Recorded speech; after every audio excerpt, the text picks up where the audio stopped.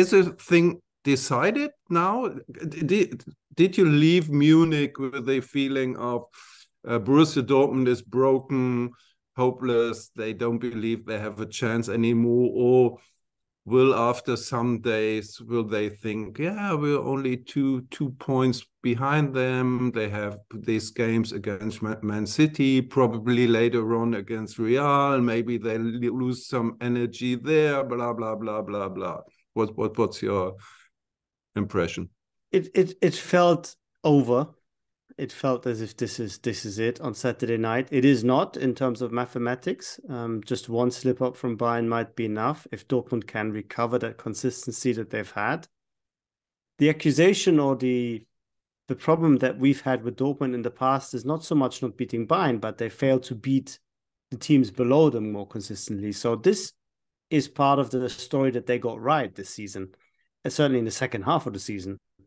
And if they can continue to do that, and win the next mm, whatever it is uh six seven games in a row then that might be enough.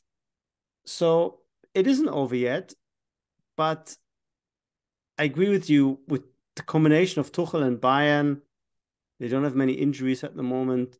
It feels kind of inevitable that he might even win every single game. Uh, do you remember his record with dortmund when he came there?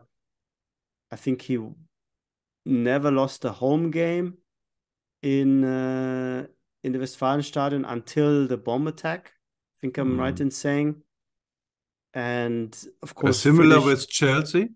Yeah, when you started yeah. with Chelsea, hardly conceded any goals with Chelsea. Um, so it's hard to imagine that Bayern will drop too many points with with Tuchel. But maybe it's worth reminding ourselves and our listeners that you and I predicted kind of the same dominance with Bayern under Nagelsmann, thinking, okay, they have the best German manager available at the moment.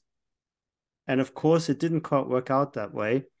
Maybe things will between Tuchel and some players and Tuchel or the board will will not be that easy, and we will see them open the door again. But in the short run, I think it might be tough.